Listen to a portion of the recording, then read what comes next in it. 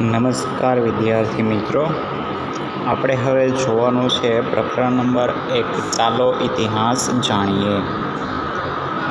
તમારા છઠ્ઠા ધોરણના અભ્યાસમાં સામાજિક વિજ્ઞાનના એક રસપ્રદ વિષય ઇતિહાસ વિશે આપણે જાણીશું.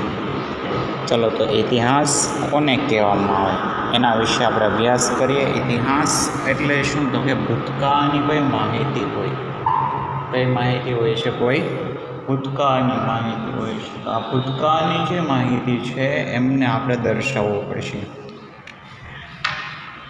તો ઇતિહાસ એટલે શું થશે? તો કે આવી કોઈ ભૂતકાળની માહિતી હોય, એને આપણે ધ્યાનમાં રાખવી પડે છે.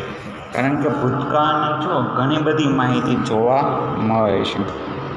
સમાજ વિજ્ઞાનો આપણને મનુષ્યના સામાજિક વિશ્વથી માહિતગાર કરે છે.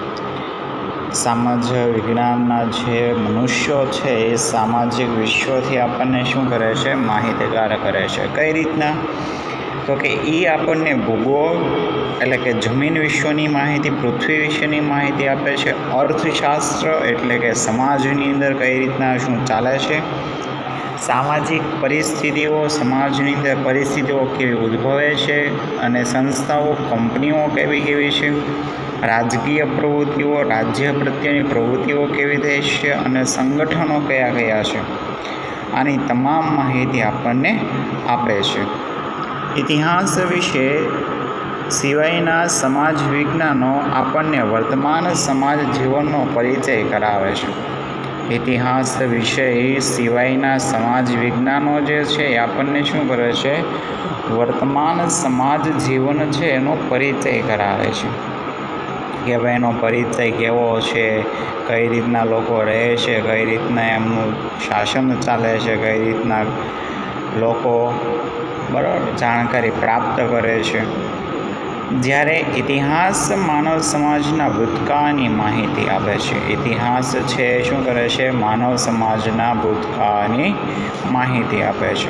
હવે કોઈ પણ ભૂતકાળની તમારે માહિતી જોતી હોય તો તમને કોણ આપે છે? આ માનવ સમાજનો ઇતિહાસ આપે છે. પહેલાંના સમયની અંદર લોકો જુઓ તો આપણને ખબર છે શું ખાતા હતા, શું પીતા હતા એવી કાંઈ માહિતી આપણને છે નહીં. અત્યારે આપણને બધાને ખબર પડી ગઈ કે ભાઈ સવારમાં ભાખરી ચાર, બરાબર? બપોરે રોટલી પછી એની સાથે શાક, દાળ, ભાત વગેરે, સાંજે રોટલો વગેરે, દાળ, ભાખરી વગેરે, બરાબર? દરેક ઘરમાં અલગ અલગ ખાઈએ છીએ. તો પહેલાંના સમયની અંદર લોકો શું ખાતા હતા? કઈ રીતના લોકો રહેતા હતા? એની કોઈ પણ માહિતી આપણને છે નહીં. તો આ બધી માહિતી આપણને પહેલાંના સમયની માહિતી મળી આપણને શું કહેવાય છે? ઇતિહાસ કહેવાય છે. મતલબમાં પહેલાંના સમયની માહિતી આપણને અત્યારે મળે છે. જેની મદદથી આપણને વર્તમાન કાળને જાણી શકીએ છીએ. એની મદદથી આપણે કોને જાણી શકીએ છીએ? વર્તમાન કાળને. તો કહેવાનો મતલબ એ કે ભૂતકાળની માહિતી પરથી આપણને વર્તમાન કાળની માહિતી પ્રાપ્ત થાય છે.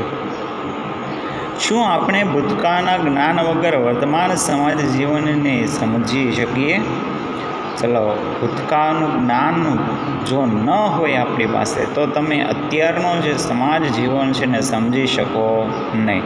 કારણ કે પહેલાંના સમયની અંદર પણ આપણે અત્યારે વસ્ત્ર, કપડાં પહેરતા હોઈએ તો પહેલાં તો મનમાં આપણને વિચાર આવે છે કે પહેલાંના સમયની અંદર લોકો શું પહેરતા હશે, શું ખાતા હશે, આવા દરેક વિચારો આવે છે.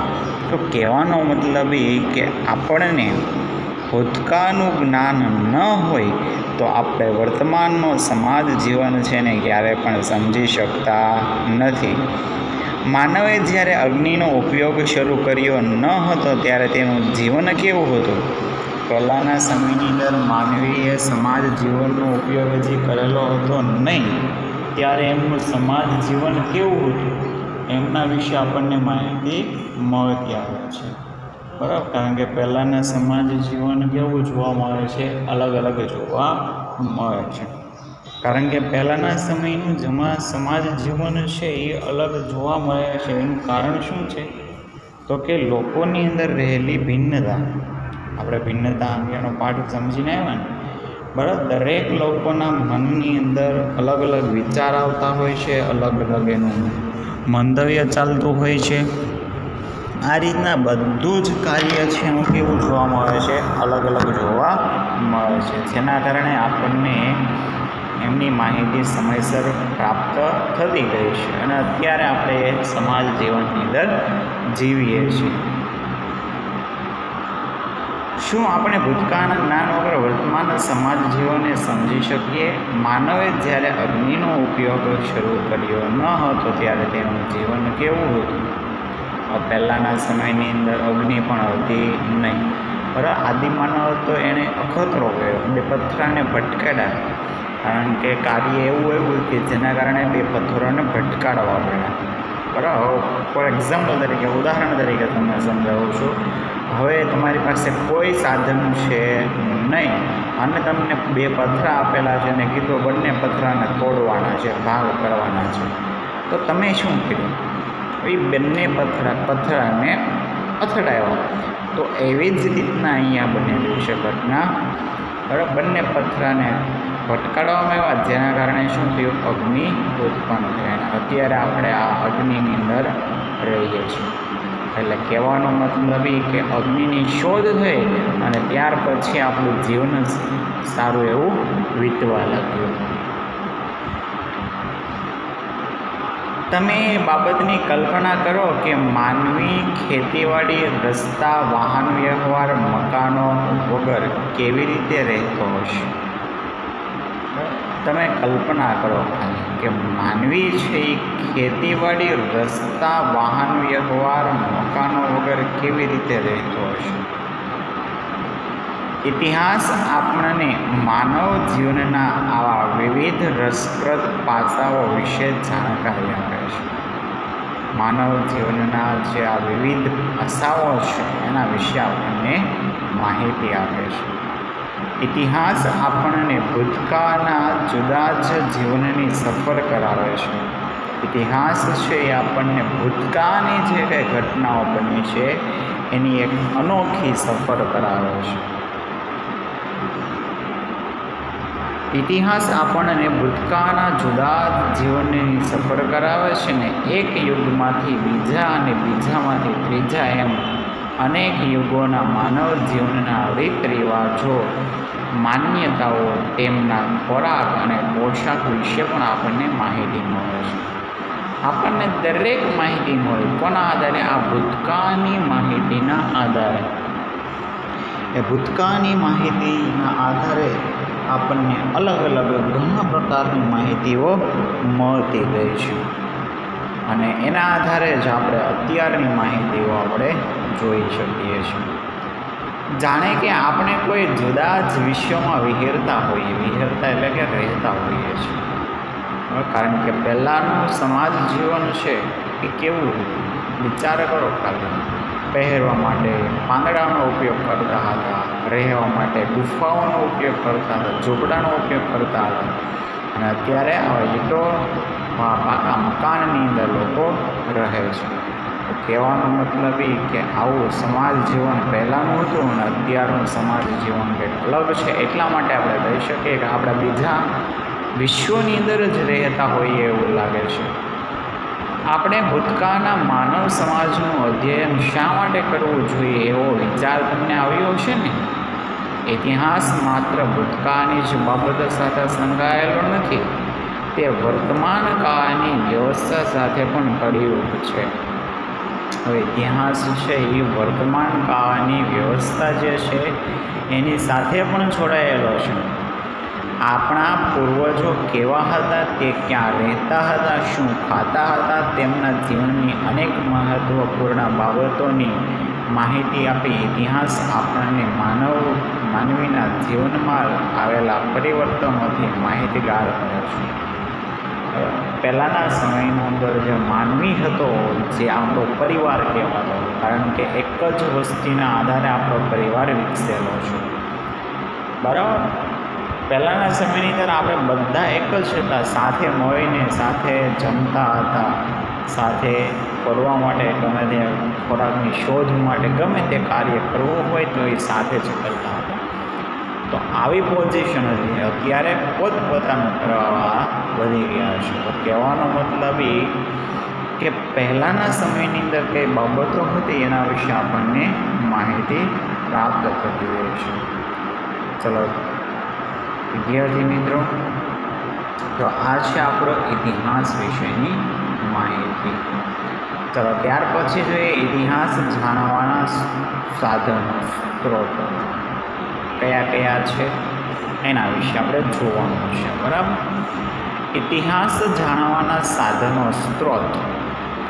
ચિંતન્ય વર્તમાન પત્રમાં વાંચ્યું. ગુજરાતના કચ્છમાં ચાર હજાર વર્ષ જૂનું શહેર મળી આવ્યું છે. ચલો, એક વસ્તુ તો એ થઈ. કે આપણને ઇતિહાસ જાણવાનો સ્ત્રોત કયો મળ્યો? વર્તમાનપત્ર. આ વર્તમાનપત્રની મદદથી તમે ચાર હજાર વર્ષ જૂનું જે શહેર છે એ અમને મળી આવ્યું છે. તેને આશ્ચર્ય થયું કે આપણે કેવી રીતે જાણી શકીએ કે આ શહેર ચાર હજાર વર્ષ જેટલું જૂનું છે? હવે આપણને તો કંઈ ખબર છે નહીં. તો આપણે શું કરવું પડે છે? આના ઉપર વિશ્વાસ રાખવો પડે છે. શું રાખવો પડે છે? વિશ્વાસ. બરાબર? કે ભાઈ હા, ચાર હજાર વર્ષે જૂનું કંઈક મકાન હશે જે આપણને મળી આવ્યું છે. તે કોણે અને કેવી રીતે બાંધ્યું હશે? ત્યાંના લોકો કેવા ખોરાક ખાતા હશે? કેવા કપડાં પહેરતા હશે? આ બધી મનમાં ને મનમાં એમને વિચાર આવવા લાગે કારણ કે સ્વાભાવિક રીતે હું તમને એમ કહું કે પાંચ હજાર વર્ષો પહેલાંનું એક મંદિર અહીંયા બાજુમાં આપણા ઘરની બાજુમાં જ છે એવું કહું, તો તમે શું કરશો પાંચ હજાર વર્ષ જૂનું? ઓ હાલો તો આપણે એના વિશે જાણીએ. શું કઈ રીતના હતું? ત્યાં કોણ ભક્ત હતા? કોણ ભગવાન હતા? સાધુ હતા. કોણ તપ કરવા માટે આવતું હતું. આવું કોણ પ્રસાદી દેવા માટે આવતું હતું? આ બધી વસ્તુ તમે વિચારો છો. તો એવી રીતના ચિંતનને પણ વિચાર્યો કે ચાર હજાર વર્ષ જેટલું જૂનું આ મકાન છે, બરાબર? તો એ કોણે બાંધ્યું છે અને કેવી રીતે બાંધ્યું છે ત્યાંના લોકો કેવો ખોરાક ખાતા હશે? કેવા કપડાં પહેરતા હશે? આ બધી માહિતી અમને મનમાં આવતી ગઈ. તમે ભારતના નકશામાં નર્મદા નદી શોધી કાઢો. હજારો વર્ષો પહેલાં નર્મદાના કિનારે માનવો વસતા હતા. જ્યાં નર્મદા નદીનો કિનારો પડે છે, ત્યાં આવા ઘણા બધા લોકો ત્યાં રહેતા હતા. આપણે ઇતિહાસ કેવી રીતે જાણી શકીએ છીએ? એમના સ્ત્રોતો વિશે આપણે આવતીકાલે જોઈશું. તો આ ઇતિહાસ જાણવાના સાધનો છે, સ્ત્રોત છે. બરાબર? તો એના વિશે આપણે કંઈક વિચારવું પડશે. તો વિદ્યાર્થી મિત્રો, અહીંયા સુધી આપણે આજનો લેક્ચર રાખીએ. જો તમને વીડિયો ગમે તો લાઈક કરજો અને અમારી ચેનલને સબસ્ક્રાઈબ કરજો, જેના કારણે નવો વીડિયો અપલોડ થાય એટલે નોટિફિકેશન સાથે તમને એની માહિતી મળતી રહે. જય હિન્દ, જય ભારત, અસ્તુ.